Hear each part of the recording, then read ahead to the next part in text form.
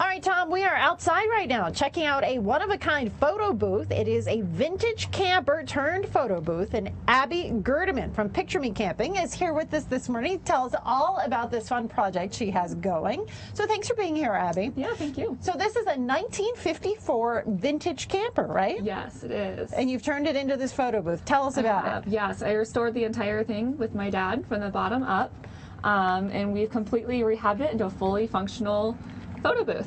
Okay, and it looks uh, pretty high tech once you're inside this 1950s camper. So you just uh, touch the screen here, and Yep. then what? It, it counts you down. Okay, see, there we It are on screen. I know you got props and all sorts of stuff. So tell us, like, who would um, want this, and how does it work?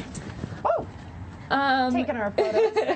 anyone would want this. Like I do, I do parties, I do small business events, weddings, corporate events, anything. Yeah, it's really great. It's and I can bring it anywhere, which is the best part. Okay, and then I know that you can actually print the pictures Yes. Mm-hmm. right here, and then also um, they're available online for people to check out They if they are. if they have you at their wedding or something like that. Yeah, yeah. So um, it's all professional photo equipment in here. So each little picture that prints out on your strip turns into a full size picture that you can download for free. Okay, and so why would somebody you think want to choose you versus one of these other services? What's the difference?